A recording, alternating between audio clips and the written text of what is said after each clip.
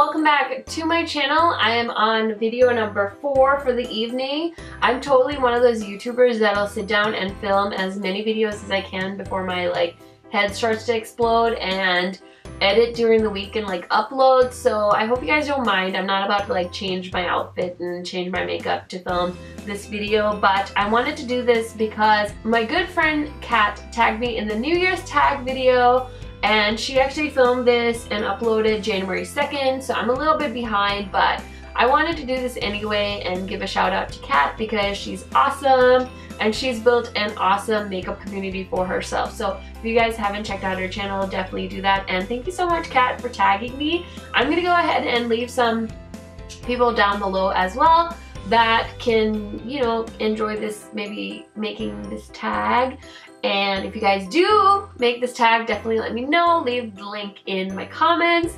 And of course, if I don't tag you, you're still tagged anyway. You're tagged um, vicariously through me to do this video if it's something that you want to do. I know Samantha March did one called 2017 Rewind. I don't know if I'm going to do that one because I feel like this one that Kat tagged me in is very similar. I don't know who started this tag, but uh, I'm sure it'll it'll come back around and it'll it'll be a thing and everyone will know. So without further blabbering, let's get into this video. Okay guys, so first question, if you could look back on one memory from last year that you wish you could relive, what would it be? Ooh, I think my memory that I would go back and relive, there were so many good ones, but I want to be really specific and say just one would be my road trip with my best friend when she moved to California. So we drove from Fargo to California, which is about a 26 hour road trip. And I've never been on like a huge road trip before. So this I felt like was that like one big road trip like of your lifetime, you know? I mean, maybe we'll have kids someday and maybe we'll take this huge road trip, but I really don't see that like happening in the foreseeable future. So we called it like the Great American Road Trip and it was so fun. So we drove from Fargo to Denver and most of these places I've never been to before. So we drove through like uh, South Dakota, um, Nebraska, like these states that I would probably never like make it to in my lifetime. But first night we stayed in Denver, um, downtown Colorado, so it was really, really freaking cool. I'd never been to Denver before. Shout out if you are from Denver. What a beautiful city. It was lit up for the holidays. It was fabulous. And then we drove from Denver, Colorado to Las Vegas, Nevada. And fun fact, I've never been to Vegas until then. And so that was really freaking cool. Like Vegas, it's like, it's nothing like seeing it in real life. You know, you see it in the movies, but it's not the same as experiencing it in person. So that was really kick-ass and cool. And I'm actually going back to Vegas for work this month. So I'm really, really excited to do that. And just like the shopping is crazy. If you've never experienced Vegas, I definitely feel like it's unbelievable. And then we did like a four hour drive from Vegas to Newport Beach, California, which is where we dropped her off. That's where she's living. And I got to see a little bit of Newport, but I was so exhausted. And then I flew back Monday. So if I could relive that, I think that would be really cool. If we could take like eight other friends with us, I think it would have been extra cool, but it was a really special memory that I got to share with one of my oldest friends. So it was very, very cool, and I'm happy for her. And Trisha, if you're watching this, I wish you nothing but the best of luck. She's lived there for a while now, obviously, we're in 2018, but it was a really cool experience to share with her. So very happy for my friend. Next question is three words to describe last year. Um, I think for sure, gosh, my life is so like um, I would say like YouTube, makeup, and uh, just like friends, I guess. I mean, I feel like I've definitely made like really big strides to being better at YouTube, and that's been like a fun goal for me and a hobby. I said in my um, Q&A video, I'm like, there's not really a lot of things I'm good at, and I feel like I love YouTube, so to throw myself into that is great. I don't drink, I don't smoke, so this is just like a really fun hobby for me. And then makeup and like friends, obviously, for me, it, it just like makes my world go around right now because it's just me and Rail and our pets. So obviously friends are a very big part of our life. So it was really fun. We got to visit a few of them. And yeah, it's just it's just a good life right now. I couldn't be more happy with how things have turned out. Something you're looking forward to this year, um, hopefully, is to get back to Sri Lanka, which is where I'm originally from. I would love to take a trip there or South Africa, which is where my husband is from. We have this immense gift or luck that we were both born in two really kick-ass places.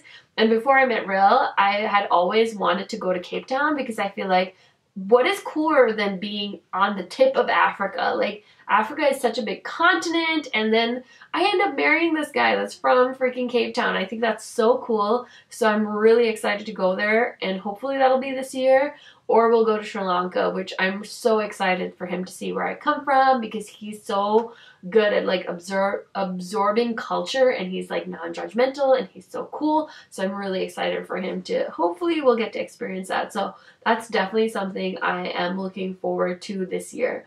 Question number four, what was your most worn clothing item of last year?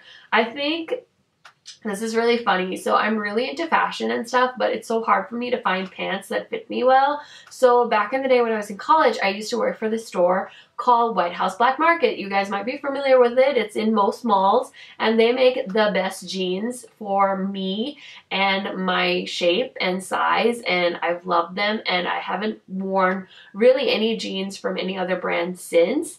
And so my most worn clothing item are these pants that they make called Ponte pants, which are basically like leggings, but they're a nice thick material. So they're really great for the winter time. I also wear them in the summertime and I literally have multiple pairs of these black leggings that I wear and they're awesome. So I'm going to link them down below or up in the cards just to do you guys a favor so you can check them out because they're awesome. I think they're more like a fall winter item so they might not be in stock or they might be being on sale right now because we're almost done with winter. Fingers crossed, not really in Fargo, but in other parts of the country I know it's like time for them to go on sale. So definitely check them out. They are amazing. They're nice and thick, they're well made, and they're generally pretty affordable. And I literally have, I shit you not, at least 10 pairs of those pants in my closet. So definitely my most worn item, as you can imagine. And then number five, what are you hoping for less and more of this year? I think I'm hoping for less um, snow.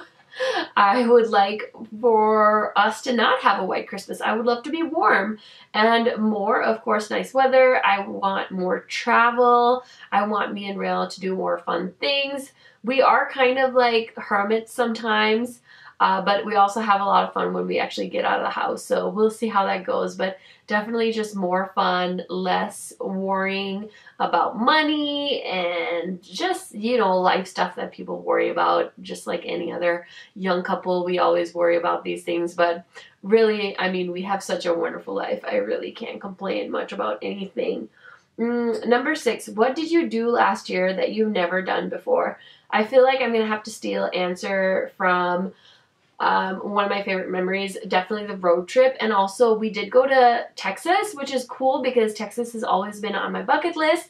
And we got to visit some friends, so we got to check out Dallas and Fort Worth, which was wonderful. I, I feel like I could live with in Texas except for I would be so freaked out driving there so I wouldn't want to live there but it was very cool and I love to travel and uh, yeah, let me know if you guys are from Boston, if you're from New Orleans. I really want to go there. San Diego. I want to go back to San Francisco. I want to see wine country. I want to do and see so many places in the United States. So hopefully I'll get to do all of those things someday. um, what is your biggest achievement of the year? So last year we actually bought our first home and that was really cool. I'm just like one of those people, I feel like my whole life in the States has been like a vagabond lifestyle. I never owned like a bed. I always slept on an air mattress. Somebody gave me like a hand me down mattress, which is how I got my first real bed, but I never really had real furniture just because I didn't know like where my life was going to take me. I moved here to go to college in case you didn't know. And then once I graduated, I kind of realized I wasn't really ready to go back, so I kind of stuck around. And then I ended up getting married, and now I have this like totally permanent situation, and it's crazy. So our house was awesome. I'm so glad we got the house we did. It is a twin home, so it's nothing fancy, but it's like everything we need and more. And yeah, we're really proud of it, and uh, it's really cool. I I would love to have you guys over sometime. So let me know if you're in the neighborhood. You can always get a place to stay in Fargo if anybody feels like freezing their ass off. Um, number eight, did you travel anywhere memorable? I feel like I already covered all of my travel from 2018.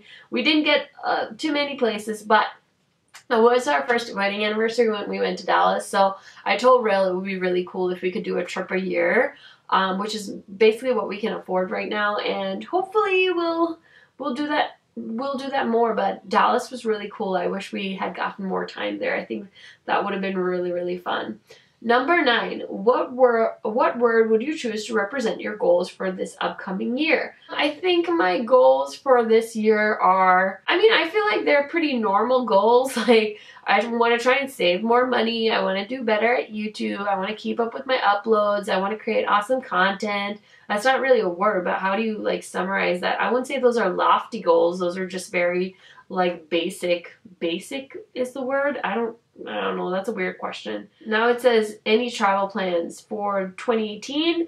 I feel like I covered that. If you could travel anywhere, would you where would I really really want to go to Disney. I've never been. I think Disney is fun as a child, it's fun as an adult.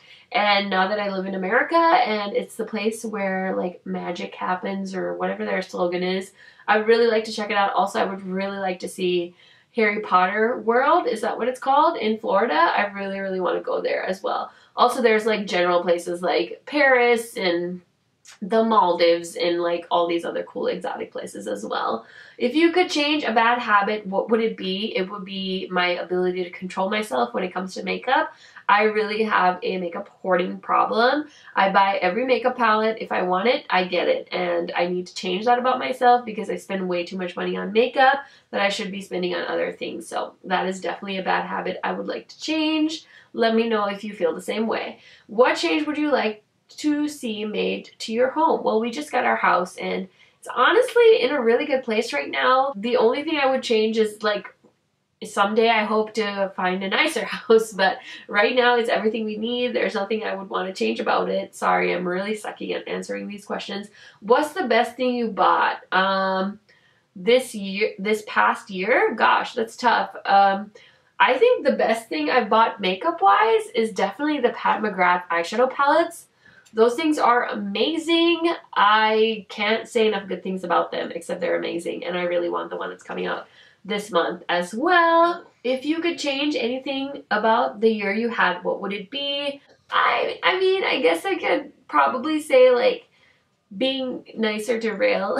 I, I always want to be a better wife and a better human. So just in general, you know, fight less and be more um, open to saying yes to things and not always crushing his hopes and dreams that sounds really awful, but I swear if you're a wife, it's just like sometimes with men, it's like, did you really think that was a good idea, honey? oh my gosh, I'm gonna get like owned for saying that on the internet. Okay, next question. Share something you're looking forward to this year. I am really looking forward to accomplishing some of my goals. I turned 30 this year, so it's a big year for me. I told Rail that it would be so fun if we could either take a trip for my birthday or I want to have like a dope birthday party. You know, like the, the kind the YouTubers have where they like rent out a space and they have a cute outfit. Like, of course, everything won't be sponsored for my birthday party, like Jackie Aina's birthday party, but I think that would be really cool. But I hope it's a trip because I told Rel that I, I would like to check out Disney for my birthday. I think that would be really, really magical. Oh my gosh, I already answered question number 17. How old will you turn this year? The magic dirty 30, baby. Uh, what did you, what did last year teach you? is that like a makeup related question? Like what did what did YouTube teach me or just like a life thing? Because I think just life wise, last year taught me like the internet isn't real. So if you're like ever feeling like FOMO or you're feeling like everyone's life is better than yours, honey, it's just made up stuff. Like there's so many filters, there's so many editing tools, like nothing is really that real on the internet and don't beat yourself up about it. I think that's just like a good thing to know in general about life. Not everyone is like perfect and you know everyone might seem perfect. It might seem like they have the perfect life, but everyone is struggling with something and you should never feel bad about yourself because somebody else has something that you don't. I just I just that's not the life I live and that's definitely something I learned more about this year. Number 19, your top five or six favorite makeup products. Okay, so the Pat McGrath palettes, one, two, and three. No, I'm just kidding. Those. Um, the ColourPop palettes, those are amazing. I do really like the um, Huda foundation, um, Pat McGrath eyeliners, and I love, gosh, I feel like I need to look around. I've really been enjoying the Sunday Riley oils, specifically the Juno oil. I never used to be into face oils, but those oils, they turned my life around. So I'm really excited about those. Um, and then number 20, what's some of your New Year's resolutions? Okay, let's talk about this because this is serious. So my New Year's resolutions are to try and not overeat. So only eat until I'm full. Um, and that just includes like don't overindulge because I'm really bad at like I love food so much that I'll just like eat and eat and eat and I'll eat past the point of being full and I definitely have gained a ton of weight since I moved here. I used to be so skinny, you guys. It's insane. And so far it hasn't really affected my self-confidence and it's probably just cuz like I surround surround myself with people that are nice enough where they won't make me feel bad about it. Um, I just wish there was a way I could lose weight that wasn't exercise and just like eating salad. So Still looking for the magical recipe for that, but I'm just happy the way I am, but I do feel like I could just make small changes and see like big results. So I need to do that. And then of course, just being better at YouTube, trying to put out more content, sticking to my schedule, which I feel like I've done really well. I really want to grow my channel. Um, so last year my goal was 1,000 and I did make it, but that's okay. I'm not discouraged at all. I feel like I'm going to maybe hit it by the end of January or February. So my goal for 2018 is just going to be to double that. So hit 2,000 which, you know, it might happen, it might not happen, but that's okay. It's always good to have goals. I want to buy less. I want to declutter. I want to be more intentional with my purchases and what I put in this house. I feel like we've lived here for a year and I already just have so much crap. So I'm just excited. I found Poshmark. I'm excited to just like get rid of things. And yeah, I just, I'm just really excited for the year. Yeah, so I feel like those are definitely some of my goals. I have some other ones too, but yeah, just all around to try and be a better housewife type, not housewife, but just like one of those like super wives. Like, I want my house to always be clean and I want to always be on top of laundry and stuff like that.